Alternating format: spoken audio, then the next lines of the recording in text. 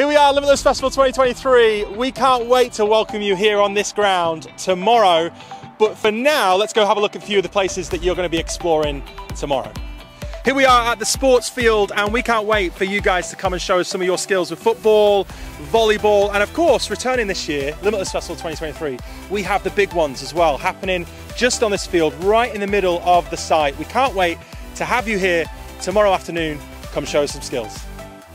Here we are at the space. This is a beautiful place. If you want somewhere to go that's a little bit more quiet, a little bit more chilled out, but you can pray and have people pray for you, our wonderful team is here. You want to come check out this place. This is called The Space. Here we are at the warehouse. You want to come here if you want to get some limitless merch. So make your way here at any point. Come have a look at all the exhibition stands. It's going to be a good one. Youth for Christ venue, seminars in the day, all day, every day. And of course, Open Mic Cafe takes place in here. Come check it out. Here we are at the Regent's Cafe. Function band every single night in here. You've got seminars happening through the day and in the morning. And of course, really good teas, coffees, hot chocolates. Come get it any day. Here we are at the cinema venue, and of course, every single evening we have got loads of good films for you to watch. Sonic the Hedgehog, Matilda, High School Musical is coming for one night and one night only, and of course, the Mario Brothers come here every single evening and watch a good film.